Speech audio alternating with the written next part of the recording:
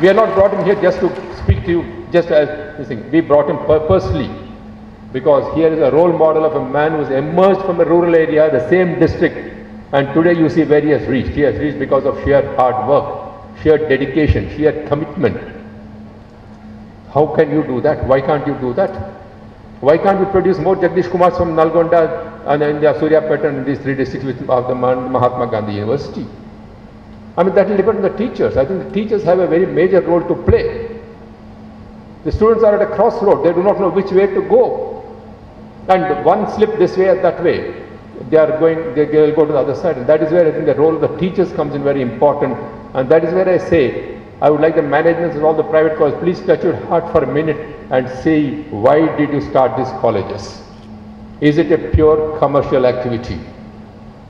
Or is it intended to serve society?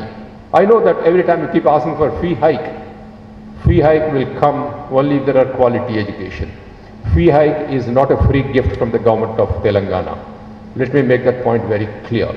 The government of India, government of Telangana is not going to give you Ugadi gifts of free rice. Free rice will depend on grading of education institutions. We will start a system of grading education institutions and if you do not fulfill the criteria, I'm sorry, you may have to look for some other activity which may be more commercial, more lucrative. Let Mahatma Gandhi University make a, be a role model university in Telangana. you please start this. Say that we will not compromise. Sir, you have got a chance. You are a newborn baby. You have got a chance now to establish what education, university education should be in Telangana. It is for, I came here for the beginning, the first uh, uh, convocation. I am telling you, you have a chance, a golden chance today to prove what university education, what higher education should be like. Don't let it go. Please don't waste it.